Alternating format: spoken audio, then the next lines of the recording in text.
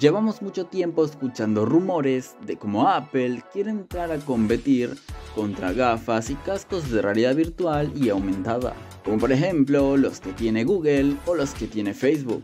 Así que juntando esas pequeñas filtraciones, nosotros en iManzana podemos decirte todo lo que se sabe de lo que serán las gafas de realidad aumentada y virtual de la compañía de la manzana.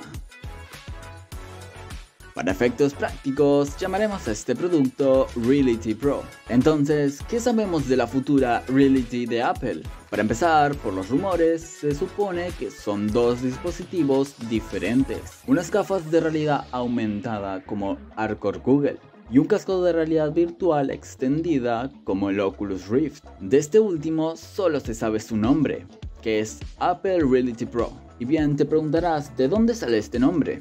Este nombre apareció el 1 de septiembre de 2022 en la entrega del boletín de Mark Gurman. Este boletín ha dado el colofón final a tres días del evento Far Out de Apple, pero también sirvió para que el editor de Bloomberg publique lo que para él es el nombre de uno de los dispositivos de la marca Reality. Y ya de por sí es raro que el primer modelo solitario del visor ya tenga añadido el Pro, pero se puede entender si vamos a los detalles que ha publicado la fuente.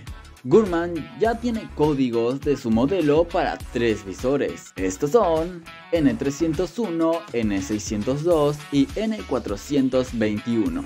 El primero en llegar sería el modelo N301, que es el visor que competiría con el de Meta. Según Gurman, sostuvo que el modelo lo veríamos oficialmente en enero de 2022, en un evento especial a su alrededor. Posiblemente este video salga para febrero, posiblemente este video salga para febrero, y todavía no hay señales de este aparato, que según las filtraciones no será barato costará alrededor de 3 mil dólares. Con ese dinero mejor me compro dos iPhones 16, que tal vez falta para que salgan, pero una cosa es segura, dudo que valgan más de 1500 cada uno. Llevamos años escuchando rumores sobre las gafas de Apple, eso sí, en el último par de años la cosa se ha acelerado, especialmente en las llamadas Apple Glasses o la versión de realidad aumentada en la que trabaja la compañía. Normalmente esto ocurre cuando un producto en desarrollo empieza a ganar tracción dentro de Apple. Se trabaja más, hay más prototipos y más gente involucrada. Las filtraciones son inevitables. Solo así podemos explicar que el nombre de Apple Glasses se filtrará en mayo de 2020 por John Prosser, junto con muchas otras cosas.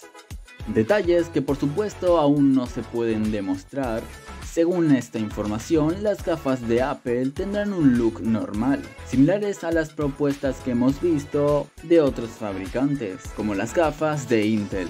Podrían pasar por unas gafas tradicionales, salvo por la pantalla en cada lente con las que podremos interactuar mediante gestos. Browser incluso se atrevió a dar un precio de 499 dólares. Vamos, casi 500. Y una fecha de lanzamiento para las Apple Glass que serían 2021, una fecha apoyada por DigiTimes, pero que obviamente no se ha cumplido. Por otro lado, Min Chin Kuo tiene un timeline muy distinto del que cabría esperar para todos estos productos.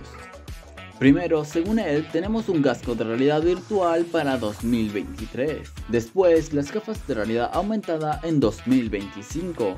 Y luego, unas lentes de contacto en 2030. Qué locura, ¿no?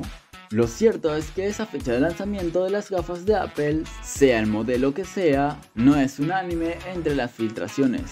Unos rumores las colocaban en 2020, el mismo 2020 que Bloomberg señalaba inicialmente, otros como Procer en 2021 y Quo para 2022 hasta 2025.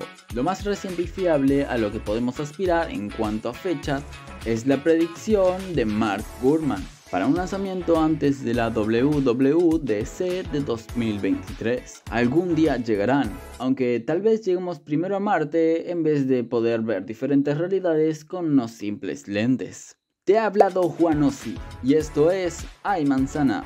Te dejamos dos videos que podrían ser de tu interés. Cualquier recomendación que nos quieras hacer o pedir tema para un video, déjalo en los comentarios. Estaremos leyendo y dando corazoncitos a todos los que comenten. Sin más que decir, nos vemos en un próximo video.